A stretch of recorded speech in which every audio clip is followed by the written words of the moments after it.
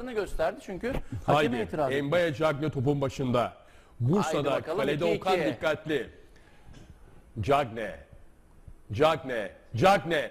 Cagne. Geliyor Cagne. Vurdu gol oldu. Helal olsun Cagne. Mbaye Cagne Bravo. 2-2. Dakika 57 56 dakika 56 2-2 oldu. Önce Endiaye sonra Mbaye Cagne. Durum 2-2.